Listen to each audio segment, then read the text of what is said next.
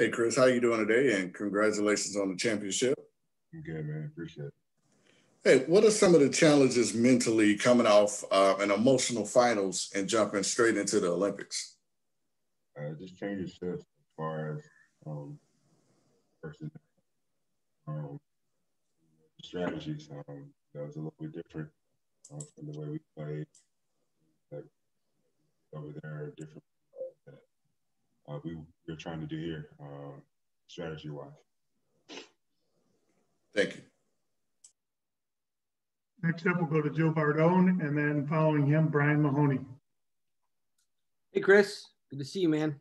You too. Hey, um, how are you feeling? I feel great. Um,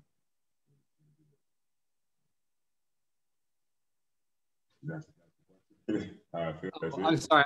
I'm having internet issues. Um, yeah, my bad. Uh, so, uh, what I wanted to know um, is from the moment the final buzzer sounded up until now, what was your favorite sort of memory or, or interaction or just something that happened in the celebration and run up to joining Team USA?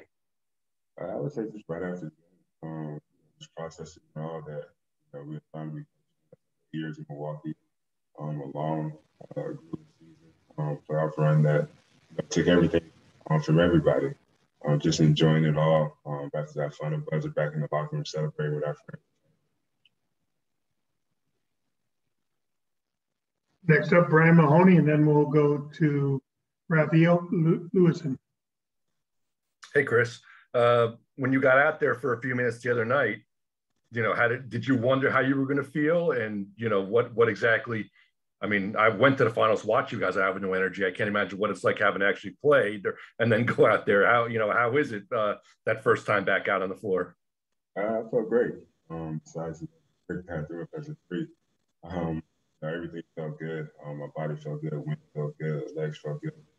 Um, I was able to get some rest the night before. Um, shoot around. Got to try to got to kind of wake up my body a little bit. Um, around some. So going to the game, I felt good. Rafi, Rafi, go ahead, and then Andy uh, from Tab Deportes. This is Rafi nothing but that sports talk. Congratulations on being NBA champion. Thank you.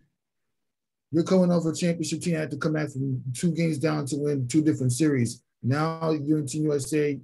How you hope to bring that coming back from adversity mentality onto the next two games for USA after starting off 0-1 in pool play? Yeah, um, it's tough, but we got to just bounce back. Um, you know, kind of forget you know, the result a little bit of the France game, but definitely remember the mistakes that we made. Um, I think we can we can do that. Um, but it's all about you know just winning every possession, um, just playing as hard as we can each night. We go out there, grind out. Um, it's one loss for us, but I feel like we definitely bounce back. And how does it feel to be playing under Gregg Popovich's coaching system? That's uh, good. Um, you know, it's my second time under it really. Um, just trying to get adjusted as quick as I can after um, playing in a different system um, all year long. But you know, so far so good. Thank you for your time. Andy, you're up, and then we'll go to Tim Reynolds. I think you're muted, man. Andy, Pardon me, can you hear me now? Yeah, I can hear you now. Sorry, sorry, I was muted on another end. Hi, Khris. Hope you're well. First of all, uh, there's been a rise in talent coming to the NBA from abroad for a while now. I mean, we've had the last three years of foreign-born MVP and a Defensive Player of the Year. You know one of them quite well. I mean, you play with him. What can you say about the internationalization of the game and what it would mean to win in the Olympics now with the level of competitiveness there is? Um, yeah, the game has changed um, the past for years. I played with one of the best uh, international players ever, Giannis. Um, he's the guy that, that talks about watching race growing up as a kid. And uh, that's just that's how the game has grown. Um, guys watching Kobe, the Allen Iverson, the Michael Jordan, um, and Shaq, you know, different, different players from all over the world, um, different ages. Uh, so the world has definitely gotten better. I've been fans of the game for a long time, and they've been working on the game for um, so step out on this court and play against them, it, play in the Olympics against you know these great guys and these great teams. Um, it's not going to be easy. I think we all know that. I think everybody sees how, how good the world has gotten over the years. Thank you, Khris. Tim, you're up, and then we'll go to Josh Coyne. Thanks, Craig. Hey, Khris, congratulations again. Thank you. Um, Khris, when you're on a team like this, and you went through it a little bit too in World Cup, when you're on a team with this much talent, how, how do you avoid the maybe the inclination that when you're when you guys are on the floor together, can you almost be too unselfish? And and maybe you know, and you know, with, I mean, every guy on the floor can score from pretty much everywhere. How do you look for yours and keep that balance of getting other guys involved as well? Yeah, I mean, uh, on guys' initially, as time goes comfortable with one another. Um, and at the same time, just just playing your game, being yourself. Um, you know, that's the message that I've heard um, the last couple days that I've been here, is to, to be ourselves and you know play with rhythm, do what we do. Um, that's the only way this thing is going to work. Thank you, man.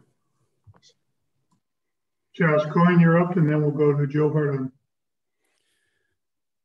Josh Coyne of Double Clutch UK. Khris, congratulations on your recent success. Thank you. You uh, competed obviously at the highest level in probably the most intense basketball of your career. And now one of your biggest competitors is on your team, which has to be an adjustment in itself. And all of this off the kind of strangest NBA season in history. Um, you, you, you likely haven't had a time to step back and reflect. Do you have any plans in place to do that uh, after this tournament and before the next season gets underway? And what can you share about that? For sure. I mean, get home. That's about to say. Right now. Thank you. Joe, you're up, and we'll go to James Herbert.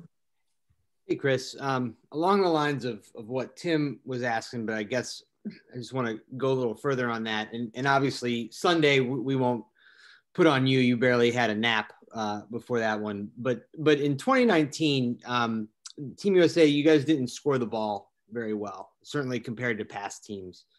And with all the firepower that you have, um, why do you think that is? Why why do you think that this team doesn't score um, what past Team USA teams did, and what maybe your talent would suggest that, that you should?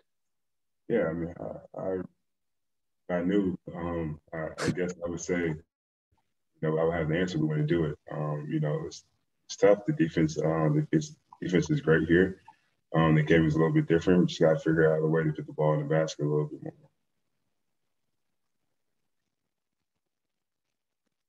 James Herbert, you're up, and then we'll finish up with uh, Tyler Boronowski. Hey, Khris. Um, you mentioned everybody, you know, being told to go out there and be themselves. Beyond that, how does role definition work on a team like this? Just, you know, be yourself. As far as taking on a role, say much to that. We all have a great attitude. We all know what a great shot is. We all know how to play basketball together. So that's what it's all about. Um, we have so much talent on this team. I want to tell somebody to not be themselves and when we do. That's not their game team similar because we all they all felt we all gel and fit out there coexist while being while playing our game. Tyler, you're up. This will be our last question. Hey, Khris. Uh, first off, congrats on the championship. Thank you. I want to ask about the the plane ride coming over here. Jrue mentioned the other day, you know, you guys try to sleep as much as possible, but when you three did converse, how much conversation was there about the finals? It was actually none. I mean, um, we all respect each other. Um, it was all about you know moving on, um, moving on and figuring out a way to get this job done here. Um, sit there and talk about the finals. It's not something that was really on anybody's mind. It was all about you know moving on to the next thing, trying to get a rest and trying to get ready for these Olympic Games.